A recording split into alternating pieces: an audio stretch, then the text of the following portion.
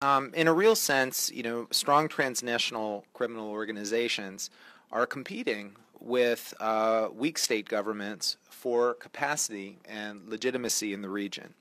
Uh, for instance, we see no go zones uh, across the region where governments are simply not in charge, uh, and the cartels or the gangs are.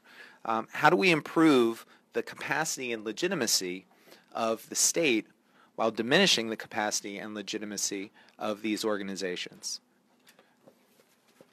That's a tough question. I think by having, I think by having territorial, it's it's. I think it's a matter of territorial control. Actually, you know what? I think that's a good idea. Daniel, why don't you give a full answer, and Okay. uh, I'll ask some other questions to you. Okay. I think that's. I was saying that it's. A, I think it's a matter of territorial control. Why is there so much production of coca crops and cocaine in some parts of Colombia where there are, where there is no state presence? And I think the answer is a political answer because there are no votes there. No politician has an incentive to bring a school, to bring a, a hospital, anything there. So the the politicians have no incentive to have territorial control over some areas in Colombia. So how do we induce politicians to have an incentive to have to bring development to these regions, to Putumayo, to Caquetá, to different regions in Colombia where there is nothing, just coca production, uh, cocaine processing labs, and that's it. There are no votes there. So we have to find incentives so that politicians care for the votes that are in those regions. Uh, and that that will bring state le- legitimacy. Le- legitimacy. Daniel, I want to ask you uh, actually another question. Um, uh, you're in an unusual situation. Uh, you know, uh, you've spent uh, the vast majority of your career in the academic world, uh, and you've recently trans- transitioned to a political and governmental leadership role. Um, I'd love to hear a little bit about uh, your experiences in that regard and how, now that you're in at least at least partly a driver's seat, um, how do you bring research and science to bear? I think when we are in, in, in, in academia, we all talk about evidence based policies, that we have to construct evidence based policies. And when you get there, there is not much time, first, to get bored, and second, to think. So you have to very, fa- very quickly uh, implement policies and make decisions without having much time to think. Where you in academia, you have a lot of time. You have two years to write a paper.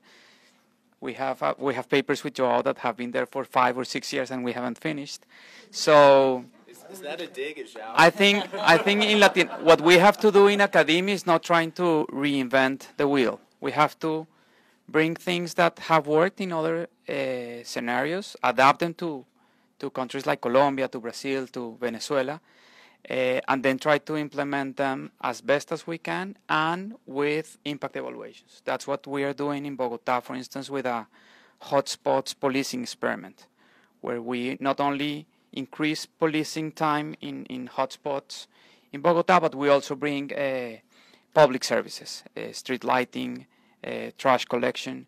And we've done this in a spirit where we have of course, a, a randomized control trial where we intervene some uh, some hotspots. We don't some others, and those are randomly selected. And as as much as we can, we should try to bring evaluations. And and if the results are bad, just take back those policies and and and accept that and and bring better policies to to try to reduce crime. So, uh, final question um, uh, to the whole panel. Uh, you know, the U.S. has uh, obviously played a significant role uh, in these issues uh, across the region, for better and sometimes for worse. Um, we've had an election here in the United States, and with the new incoming administration, uh, what are your thoughts about uh, the U.S. role uh, in the region with regard to these issues? You know, what what uh, what do you expect from the new administration uh, moving forward? And uh, aside from what you expect, what would you like to see from the new administration? Uh, and why don't we begin, uh, Joao, with you, and then we'll uh, work back. I'm going to be real, really short because I, I think it, uh, the time is better spent with uh, Steven and, and and Daniel on this one because, from my experience that comes from Brazil, the, the, it's not that the U.S. plays a big role in, in these issues. So, uh, I, I, obviously, I just like anyone else, I don't. I hope for not so crazy things. Not so crazy things. It's a good baseline.